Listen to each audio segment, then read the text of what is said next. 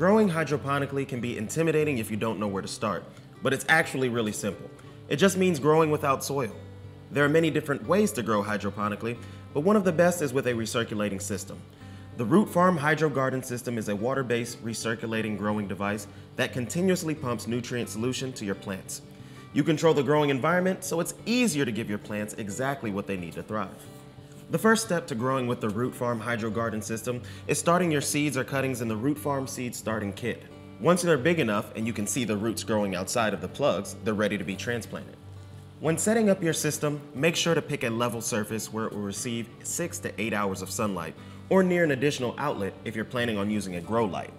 Keep in mind this reservoir holds 6 gallons of water, and when it's full, it'll weigh over 50 pounds, so choose your location wisely. To set up your system, first check to make sure the clear tubing inside is securely attached to the pump and the water jets. Then place two or three of the cover plates on top of the platform, allowing enough space to fill it with water and add your nutrients. Identify which planting sites will need baskets, which planting sites will need covers, and where you would like to place the water level indicator. The Root Farm Hydro Garden system can grow a wide variety of plants with the right amount of light. If you're growing leafy greens or herbs like lettuce, Swiss chard, or basil, you can grow four plants at a time using the outer planting sites. If you're growing medium plants like small peppers or eggplants, you can grow two at a time using planting sites directly across from each other. Larger plants like full-size tomatoes require more resources so they should be grown individually using the planting site in the center. For those plants, you'll also want to add a cage, or a stake in the designated slots to help support the plant as it grows larger and heavier. At this point, it's time to place your rooted plugs into the planting baskets.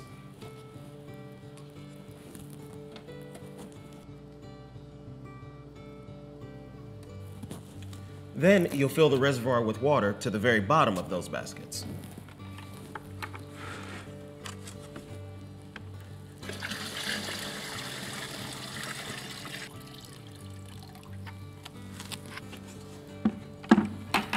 Check that the valve is set to circulate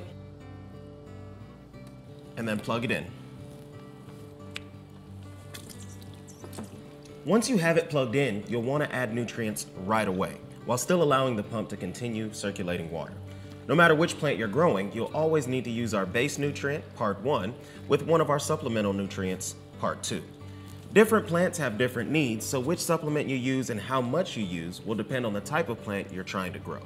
Once you've added your nutrients, check the pH of your solution using pH strips or a pH meter to see if it's somewhere in the range of 5.5 to 6.5. If it's not, use Root Farm pH balance up or pH balance down to adjust. For more videos, tips, and tricks for growing hydro, visit us at rootfarm.ca.